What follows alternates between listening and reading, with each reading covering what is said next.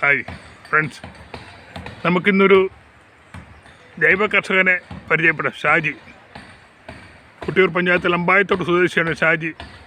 നമ്മളിപ്പോൾ നിൽക്കുന്നത് അദ്ദേഹത്തിന്റെ ജൈവ കൃഷി തോട്ടത്തിലാണ്. പയറും വെണ്ടയും കാബേജും ഒക്കെ കൃഷി ചെയ്യുന്ന ഷാജിയെ പരിചയപ്പെടുത്തുക ഷാജിയോട് നമുക്ക് ചോദിക്കാം എന്താണ് ഈ ജൈവ കൃഷിയുടെ ലക്ഷ്യങ്ങൾ അതിന്റെ വളപ്രയോഗങ്ങൾ ഏതൊക്കെ സീസണിലാണ് ഇത് ചെയ്യുന്നത് ഷാജി ഒന്ന് പറയാൻ പറ്റുമോ എല്ലാവർക്കും നമസ്കാരം. എന്റെ പേര് ഷാജി കുട്ടിയിരുന്നാണ്. ഞാൻ ചുരുങ്ങിയത് ഇതിപ്പോൾ കൃഷി എന്ന് പറഞ്ഞാൽ ഈ കൃഷിയെപ്പറ്റി പറയുകയാണെങ്കിൽ കൃഷി ഓപ്പൺ പ്രിസിഷൻ ഫാമിംഗ് എന്നാണ് പറയുക.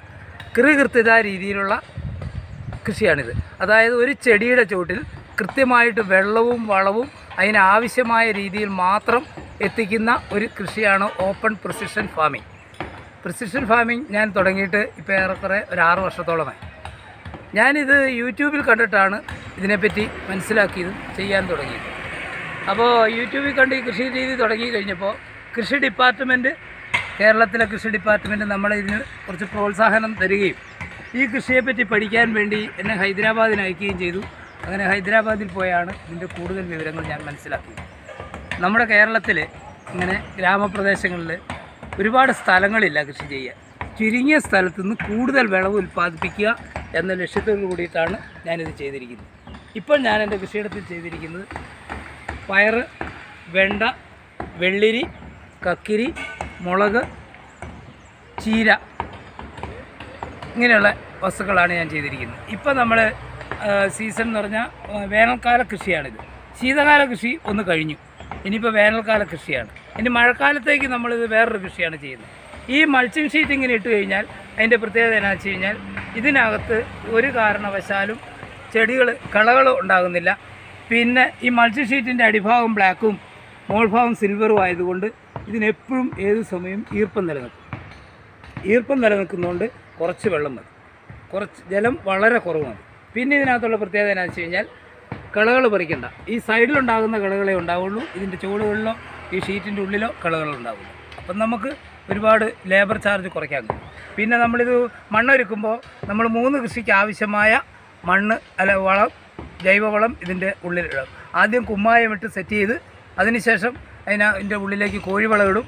അതിനുശേഷം ആപ്ടക്കിന്റെ ജീവാണുവളമാണ് ഞാൻ ഉപയോഗിക്കുന്നത്. ജീവാണുവളം ഉപയോഗിച്ചതിന് ശേഷം ഷീറ്റ് വിട്ട് ട്രിപ്പും ചെയ്ത് ഷീറ്റ് വിട്ടതിന് ശേഷം അതിന് ഹോൾസ് കൃത്യമായ അകലത്തിൽ നാൽപ്പത് സെന്റിമീറ്റർ നാൽപ്പത് സെന്റിമീറ്റർ അകലത്തിൽ ഹോൾസ് എടുത്ത് ആ ഹോൾസിലാണ് വിത്ത് നടുന്നതും ചെടികൾ നടുന്നതും.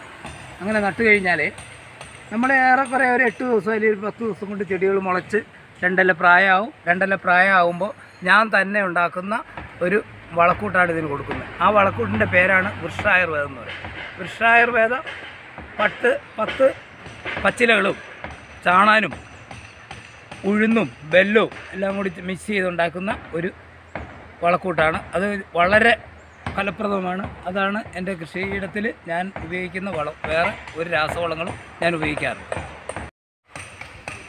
ഷാജി തന്റെ കൃഷിയിടത്തിൽ ചീരയും മുണ്ടയും വേവ് കൃഷി ചെയ്തിരിക്കുന്നതാണ് കാണുന്നത്.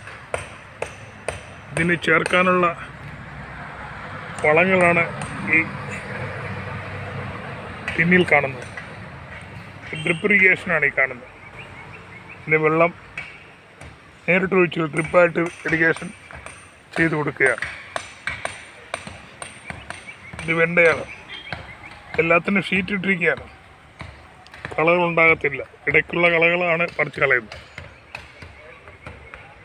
വെണ്ട കൃഷിയാണ്. ഇപ്പോൾ ഞാൻ ഇട്ടിരിക്കുന്ന വെണ്ട നാംദാരിന്റെ എണ്ണൂറ്റി അൻപത്താറ് എന്ന് പറയുന്ന നമ്പറിൽപ്പെട്ട ഒരു വെണ്ടയാണ്. ഈ വെണ്ടയുടെ പ്രത്യേകത എന്ന് വെച്ച് കഴിഞ്ഞാൽ പച്ച നിറമാണ്. ഒരു മുപ്പത് വെണ്ടയ്ക്ക് ഉണ്ടെങ്കിൽ ഒരു കിലോ തൂങ്ങും. ഇത് വേനൽക്കാലത്ത് പ്രതിരോധശേഷി കൂടുതലുള്ള ഒരു ഇനം വെണ്ടയാണ്. അതുകൊണ്ടാണ് ഇതിപ്പോൾ ഈ വെണ്ടയുടെ പ്രായം ഇരുപത്തെട്ട് ദിവസമാണ്. എല്ലാ വെണ്ടയും പൂവിട്ട് കഴിഞ്ഞു. ഇതാ പൂവിട്ട് തന്നെ നമുക്ക് കാണാൻ കഴിയും. പിന്നെ കൃത്യമായിട്ട് മുട്ട് വന്നിട്ടുണ്ട്. അടിയിലും വന്നിട്ടുണ്ട്. ഇരുപത്തി എട്ടാമത്തെ ദിവസമായപ്പോൾ പൂവിട്ടു ഇനിയൊരു എട്ട് ദിവസം കൊണ്ട് ഈ വെണ്ട നമുക്ക് വിപണിയിലെത്തിക്കാം. അത് അത്ര വളർച്ചയുള്ള അത്ര പെട്ടെന്ന് കായ്ക്കുന്നു ആയ വെണ്ടയാണ്. പിന്നെ കായ്ച്ചു കഴിഞ്ഞാൽ നമുക്കൊരു തൊണ്ണൂറ് ദിവസത്തേക്ക് ഇതിനകത്ത് നിന്ന് വെണ്ടയ്ക്ക വിളവെടുക്കാനും കഴിയും. ഇത് പിന്നെ മൾച്ചിങ് ഷീറ്റൊക്കെ ഇട്ടിരിക്കുന്നതാണ്. നമുക്ക് കാണാൻ കഴിയും. ഒരു സിൽവർ കളറാണ് മുകളിലുള്ളത്. ആ ഷീറ്റിന്റെ അടിഭാഗം ബ്ലാക്കാണ് ഈ സിൽവർ കളറിന്റെ ഒരു പ്രത്യേകതയുണ്ട്. എന്താണെന്ന് വെച്ച് കഴിഞ്ഞാൽ ചെടികളുടെ വേരുകൾക്ക് സൂര്യപ്രകാശത്തിൽ നിന്നടിക്കുന്ന അൾട്രാ വയലറ്റ് രശ്മികൾ നമുക്ക് ആവശ്യമില്ല. ചെടികളുടെ വേരുകൾക്ക് ആവശ്യമില്ലാത്ത രശ്മികളാണ്. പക്ഷേ അത് നമ്മുടെ ഇലകളിൽ കൃത്യമായിട്ട് കിട്ടണം. എങ്കിൽ മാത്രമേ അതിന് ഭക്ഷണം പാചകം ചെയ്യാൻ കഴിയുള്ളൂ. പിന്നെ ഈ ഇലകൾ നമ്മൾ ശ്രദ്ധിച്ചാൽ കഴിയും. ഇലകളുടെ അടിഭാഗത്തുള്ള ഞരമ്പുകൾ ഇത്ര കാരണം വണ്ണത്തിൽ സാധാരണ കാണാറില്ല. കാരണം എന്തുകൊണ്ട്? ഇതിനിപ്പോൾ കാണുന്നത് ആ രശ്മികൾ ഈ സിൽവറിലേക്ക് അടിച്ചു കഴിയുമ്പോൾ നേരെ മുകളിലേക്ക് വരുമ്പോൾ ഇലകളുടെ അടിഭാഗത്ത് അത് പ്രതിഫലിക്കുകയും ആ ഞരമ്പുകൾ തടിച്ചു നിൽക്കുകയും ചെയ്യുമ്പോൾ പെട്ടെന്ന് ഇതിന്റെ വളം ഇതിന് പെട്ടെന്ന് പാചകം ചെയ്ത് ഇതിന്റെ തണ്ടുകളിലേക്ക് എത്തിക്കാൻ കഴിയും. അതുമാണ് ഇതിന്റെ ഒരു പ്രത്യേകത. അതുകൊണ്ടാണ് ഈ സിൽവർ ഷീറ്റ് ഇതിന് ഉപയോഗിക്കുന്നത്. അതാണ് മൾച്ചി ഷീറ്റിന്റെ പ്രത്യേകത. ഈ മൾച്ചി ഷീറ്റിന്റെ അടിയിൽ കൂടി ഡ്രിപ്പിന്റെ പൈപ്പ് പോകുന്നുണ്ട്. അത് കൃത്യമായിട്ട് നമുക്ക് കാണാം. വെള്ളം അതിൽ വീഴും. ഒരു ഒരു ഡ്രിപ്പിൽ നിന്നും ഒരു പത്ത് മിനിറ്റ് നേരം വെള്ളം അടിച്ചാൽ നാനൂറ് മില്ലി വെള്ളം വീഴും. ഇത് നമുക്ക് കാണാൻ കഴിയും. ഇതിനകത്ത് വെള്ളം വീഴുന്നത്. ഇതാണ് ഡ്രിപ്പ് ഈ ഡ്രിപ്പിലൂടെ വെള്ളം കൃത്യമായിട്ട് ഒരു നമ്മൾ വീഴുന്നതായിട്ട് നമുക്ക് തിരിയും. അത്രയും വെള്ളമേ ഒരു ചെടിക്ക് കൃത്യമായിട്ട് വീഴാവുള്ളൂ. ഒരുപാട് വെള്ളം വീണു കഴിഞ്ഞാൽ അതിന് രോഗങ്ങളുണ്ടാകാൻ സാധ്യത. ഇതൊക്കെയാണ് വെണ്ട കൃഷിയെ പറ്റി പറയാനുള്ളത്. ഇതിനൊക്കെ എത്ര ചിലവ് വരും? ഇത്രയും ഒരു ഒരു ഒരു മുപ്പത് സെന്റ് സ്ഥലത്തുള്ള കൃഷി മുപ്പത് സെന്റ് സ്ഥലമുണ്ട്. ഇതിനിപ്പം നമ്മൾ ആദ്യം എല്ലാ ചിലവും കഴിഞ്ഞ് ചിലവ് നമ്മൾ ശരി കൃത്യമായ ചിലവുകൾ കൃത്യമായിട്ട് നമ്മൾ എഴുതി വെക്കണം. ഒരു ഏത് കൃഷി ചെയ്യുമ്പോഴും വര വരവും ചിലവും നമ്മൾ കൃത്യമായിട്ടും മനസ്സിലാക്കിയിരിക്കണം. എന്നാലാണ് ഇതിന് ലാഭം കിട്ടുമോ നഷ്ടം കിട്ടും ഇതിപ്പോൾ എനിക്ക് ഇരുപതിനായിരം രൂപ ചിലവുണ്ട്. ഈ മുപ്പത് സെന്റിലേക്ക് മുപ്പത് സെന്റിലേക്ക് മാത്രം. വളം അടക്കം ലേബർ ചാർജ് അടക്കം സർവ സാധനങ്ങളും മേടിച്ച് എല്ലാം ഇട്ടതിന് ഈ ഈ സാധനങ്ങൾ ഈ മൾട്ടി ഷീറ്റും മാത്രം നമുക്ക് ഈ മൂന്ന് കൃഷിക്കേ പറ്റും. ബാക്കി വരുന്ന ഇതിന്റെ ഉള്ളിലെ ട്രിപ്പ് വെഞ്ചറി മോട്ടർ പിന്നെ പൈപ്പുകൾ ഇതെല്ലാം നമുക്കൊരു പത്ത് വർഷത്തേക്ക് ഉപയോഗിക്കാം. ഒരു പ്രശ്നവും ഇല്ലാതെ നമുക്ക് മെയിന്റനൻസ് ഒന്നും ഇല്ലാണ്ട് നമുക്ക് ഉപയോഗിച്ച് കൊണ്ടുപോകാൻ പറ്റുന്ന ഒരു കൃഷി രീതിയാണിത് ഇതേ രീതി കൃഷി ചെയ്താലുള്ള ഗുണം എന്നാണെന്ന് വെച്ച് കഴിഞ്ഞാൽ നമ്മളൊരു വെണ്ടക്കുരു നട്ട് അത് മുളച്ച് അതിനകത്തുനിന്ന് നമ്മൾ വിളവെടുത്തു കഴിഞ്ഞാൽ ഒരു വെണ്ടക്കുരു നട്ടു കഴിഞ്ഞാൽ ഞാൻ അതിനകത്ത് നിന്ന് എടുക്കുന്ന ഒരു കിലോ വെണ്ട കൃത്യമായിട്ട് പറിച്ചിരിക്കും. എങ്കിൽ മാത്രമേ കർഷകന് ലാഭമുള്ളൂ. അത് ഇതേ രീതിയിൽ ചെയ്താൽ മാത്രമേ ആ വിളവ് കിട്ടുകയുള്ളൂ. പയറാണേലും അങ്ങനെ. ഒരു മണി പയറിൽ നിന്ന് ഒരു കിലോ പയർ നമ്മൾ പറിക്കണം. പറിച്ചെടുത്താൽ മാത്രമേ നമുക്ക് ഇതിന് വില കിട്ടൂ. പിന്നെ മാർക്കറ്റിംഗ്. മാർക്കറ്റിംഗ് എന്നെ സംബന്ധിച്ചിടത്തോളം ഒരു വലിയൊരു വിഷയമായിരുന്നു. കാരണം എന്ന് വെച്ച് കഴിഞ്ഞാൽ നമ്മളിത് കച്ചവടക്കാരന്റെ അടുത്താണ് കൊണ്ടു ചെല്ലുന്നത്. കച്ചവടക്കാരൻ എത്തുന്ന പാടെ വിടക്കാക്കി തനിക്കാക്കുന്ന ഒരു സ്വഭാവമാണ് കച്ചവടക്കാരെല്ലാം നമ്മളോട് കർഷകരോട് കാണിക്കുന്നത്. അപ്പോൾ ഞാനിവിടെ ഇത് ഹൈവേ ആണ് മെയിൻ റോഡാണ് ഈ സൈഡിൽ തന്നെ വെച്ചിട്ട് സ്വന്തമായിട്ട് വിറ്റ് ഒഴിവാക്കുന്ന ഒരു രീതിയാണ്. അപ്പോൾ ഞാൻ ഉൽപ്പാദിപ്പിക്കുന്ന ഉൽപ്പന്നത്തിന് ഞാൻ പറയുന്ന വില എനിക്ക് മേടിക്കാൻ കഴിയുന്നു കർഷകന് കച്ചവടക്കാരന്റെ അടുത്തേക്ക് ചെല്ലും ഇടനിലക്കാരന്റെ അടുത്തേക്ക് ചെല്ലുമ്പോൾ നമ്മൾ ഉൽപ്പാദിപ്പിക്കപ്പെടുന്ന ഉൽപ്പന്നത്തിന് ഇടനിലക്കാരൻ പറയുന്ന വിലയ്ക്ക് കൊടുക്കേണ്ട അവസ്ഥ വരുന്നു. അതുകൊണ്ടാണ് കൃഷി നഷ്ടം നഷ്ടം എന്നെല്ലാവരും പറയുന്നത്. എന്നെ സംബന്ധിച്ചിടത്തോളം കൃഷി ലാഭകരമാണ്. ലാഭകരമായിട്ട് നമുക്കിത് കൊണ്ടു നടക്കാൻ കഴിയും. ഇത് കർഷക കൃഷി ലാഭം എന്നതിലുപരി ഇതിന്റെ വിളവെടുക്കുമ്പോൾ മാനസിക സംതൃപ്തി എന്നുകൂടി ഒന്നുകൂടി നമുക്ക് കിട്ടുന്നുണ്ട്. അതുകൊണ്ട് എല്ലാവരും അവനവന്റെ വീട്ടിലേക്കായ ജൈവ രീതിയിലുള്ള കൃഷി ചെയ്ത് പച്ചക്കറികൾ ഉൽപ്പാദിപ്പിക്കണം. അവനവന് ആവശ്യമായ പച്ചക്കറികളെങ്കിലും അവനവന്റെ വീട്ടിലുണ്ടാക്കണം. ഒരുപാട് സമയം നമുക്കിതിന് ചിലവഴിക്കേണ്ട ആവശ്യമില്ല. ഇപ്പോൾ ഞാനിതിനകത്ത് ആകെ മൊത്തം ചിലവഴിക്കുന്നത് വൈകുന്നേരങ്ങളിൽ ഒരു രണ്ട് മണിക്കൂറാണ്. ഏറ്റവും കൂടുതൽ എനിക്ക് ഇതിനകത്ത് ചിലവഴിക്കാൻ കഴിയുന്നു. അത്രയും ചിലവഴിക്കുമ്പോൾ ഷാജി ഈ നനയെപ്പറ്റി ഇറിഗേഷനെ പറ്റി ഒന്ന് പറയാമോ ഷാജി? ഓക്കെ ഞാൻ പറയാമല്ലോ ഞാനിപ്പോൾ എല്ലാവർക്കും വേണ്ടിയിട്ട് ഇതിനെപ്പറ്റി മനസ്സിലാക്കാൻ വേണ്ടി പറയുന്നതാണ്. ഇത് ഇതിന്റെ ഉദ്ദേശം എന്ന് വെച്ച് കഴിഞ്ഞാൽ ചീര പിന്നെ നമ്മുടെ വീടിന്റെ മുമ്പിലുണ്ടാകുന്ന ഗാർഡൻ അങ്ങനെയുള്ള സ്ഥലത്ത് പുല്ല് നടുന്നതിന് ഒക്കെ വേണ്ടി വെക്കുന്ന ഒരു സ്പ്രിങ്ക്ലറാണിത് മൈക്രോ സ്പ്രിങ്ക്ലർ എന്നാണ് ഇതിൽ പറയപ്പെടുന്നത്.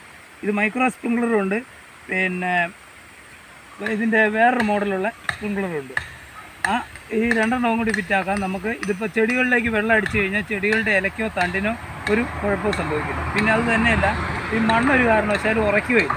എത്ര കണ്ട ഇളക്കത്തിലാണോ ഇട്ടിരിക്കുന്നത്? അതുപോലെ തന്നെ. നല്ല സ്മൂത്തായിട്ട് പുക പോലെ പോയി നനയുന്ന ഒരു സംവിധാനമാണിത്. അതുകൊണ്ട് ഇതാണ് ഞാൻ ചീരയ്ക്ക് വേണ്ടി ഉപയോഗിക്കുന്നത്. മറ്റുള്ള ഡ്രിപ്പ് ഇറിഗേഷനാണ് ഇത് ഡ്രിപ്പ് തുള്ളി നനയാണ് മറ്റു ചെടികൾക്കല്ല. ചീരയ്ക്ക് വേണ്ടി മാത്രമാണ് ഇതിപ്പോൾ ഞാൻ ഉപയോഗിക്കുന്നത്. ഇതാണ് ഡ്രിപ്പ് ഈ നനയെപ്പറ്റി ചീരയുടെ നനയെപ്പറ്റി പറയാനുള്ളത്. ചീര നമ്മൾ ചകിരി കമ്പോസ്റ്റിൽ മിക്സ് ചെയ്തിട്ടാണ് വിതയ്ക്കുന്നത്. ഇപ്പോൾ ചീര അതൊരു ഇരുപത് ഇരുപത്തിരണ്ട് ദിവസത്തെ പ്രായമായ ചീരയാണത് പറിക്കാറായി. ഇപ്പോൾ കുറേശ്ശെ ഞങ്ങൾ പറിച്ചുകൊണ്ടിരിക്കുകയാണ് അങ്ങനെ വിൽക്കുന്ന ഒരു സിസ്റ്റമാണ്. ഞാൻ ഇത് കക്കിരി ഒരു ഹൈബ്രിഡ് ഇനത്തിൽപ്പെട്ട കക്കിരിയാണ്. ഇതിപ്പോൾ ഇട്ടിട്ടൊരു പതിനെട്ട് ഇരുപത് ദിവസത്തിന് താഴെ ആയിട്ടുള്ളൂ. ഇതിപ്പോൾ പൂവിട്ടു. ഇത് ഇത് ഇതുപോലെ നൂറോളം ചൂടുകൾ ഇതിനകത്തുണ്ട്. എല്ലാത്തിന്റെയും അതിരേ കൂടിയാണ് ഇട്ടിരിക്കുന്നത് അപ്പോൾ അങ്ങനെയാകുമ്പോൾ നമുക്ക് പുറത്തേക്ക് ഇതിനെ പന്തിലിട്ടുകൊണ്ട് മറിച്ച് മാറ്റാൻ കഴിയും. അതുകൊണ്ടാണ് ഇതിട്ടിരിക്കുന്നത്. ഇതിന് വേറെ പ്രത്യേകിച്ച് വളമൊന്നുമില്ല ഇതിന് കൊടുക്കുന്ന മാത്രമേ വേറെ പ്രത്യേകിച്ച് വളങ്ങളൊന്നും ചെയ്യുന്നില്ല. എല്ലാം നൂറ് ശതമാനം ജൈവ രീതി തന്നെയാണ്.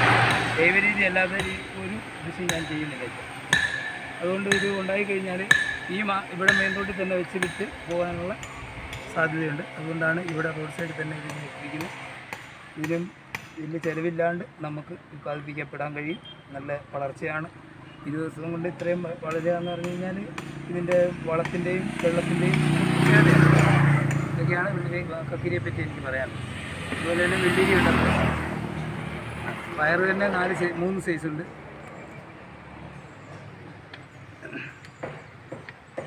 പയർ തന്നെ മൂന്ന് സൈസ് ഉണ്ട്.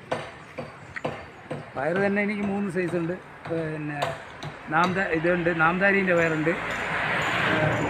കാക്കൂന്തലുണ്ട്. റിന്യൂ ഉണ്ട്. പിന്നെ ഞാൻ ഇക്കൊല്ലം ഒരു പുതിയ പുതിയതായിട്ട് ചെയ്തതാണ് കുറ്റിപ്പയർ. കുറ്റിപ്പയറിന് നല്ല മാർക്കറ്റിംഗ് ആണ് ഇവിടെ.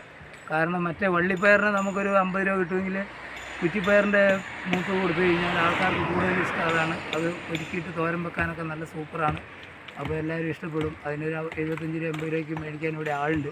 അപ്പോൾ അതുകൊണ്ട് ഞാൻ കുറേ അത് ചെയ്തിട്ടുണ്ട്. അങ്ങനെ ഓരോ പ്രാവശ്യവും വെറൈറ്റി മാറ്റി മാറ്റിയാണ് ചെയ്യുന്നത്. ഇവിടെ വെന്തി നടാനുള്ളതാണ്. ഇവിടെ ഭാഗ്യം നിർത്തിയിട്ടുണ്ട്. വെന്തി നമ്മൾ പച്ചക്കറികളിൽ മുട്ടിട്ടതിന് ശേഷം ഞാൻ ഇങ്ങോട്ട് കൊണ്ടുവെക്കുള്ളൂ പാക്കറ്റിൽ കാരണം പെട്ടെന്ന് വളർന്നു വരാൻ വേണ്ടിയിട്ട്. അപ്പം എനിക്ക് ഇതിനകത്ത് മഴമറയ്ക്കകത്ത് വെച്ചേക്കുവാണെങ്കിൽ പെട്ടെന്ന് വളർന്നു വരും. അങ്ങനെ മുട്ടിടാൻ തുടങ്ങിയിട്ടുണ്ട്. അന്നേരം ഇപ്പോൾ രണ്ട് ദിവസം തന്നെ കൊണ്ടുവരും വെന്തിയുടെ ഗുണം എന്നാ വെച്ച് കഴിഞ്ഞാൽ വെന്തി പൂത്ത് കഴിഞ്ഞാൽ ഈ കീടങ്ങൾ തേച്ചും അതിനകത്തേക്ക് പോകും. അതിന്റെ മണം അടിച്ചിട്ട്. അപ്പോൾ അതിന്റെ മണം അടിച്ചു കഴിഞ്ഞാൽ മറ്റ് നമ്മുടെ കൃഷിയിടത്തിലുള്ള ചെടികളിലേക്ക് വരികയില്ല അതിന്റെ മണം കൊണ്ട് അത് അതിൽ വന്നിരുന്നാൽ തന്നെ പെട്ടെന്ന് അപ്രത്യക്ഷമായി പോകും. കാരണം പിന്നെ ഇങ്ങോട്ടേക്ക് അടുക്കില്ല അതിന്റെ മണമുള്ളതുകൊണ്ട്. വെന്തി സൂര്യകാന്തി കടുക് ഇതൊക്കെ എന്ന് പറഞ്ഞു കഴിഞ്ഞാൽ ശത്രുകീടങ്ങളെ അകറ്റാനുള്ള ചെടികൾ കൂടിയാണ്. അതെന്റെ അനുഭവത്തിൽ നിന്ന് ഞാൻ മനസ്സിലാക്കിയതാണ്. പിന്നെ ക്ലാസ്സുകൾ പങ്കെടുക്കുമ്പോൾ ക്ലാസ്സുകളിൽ നിന്ന് കിട്ടും. ഇതൊക്കെയാണ് എന്റെ പ്രത്യേകത.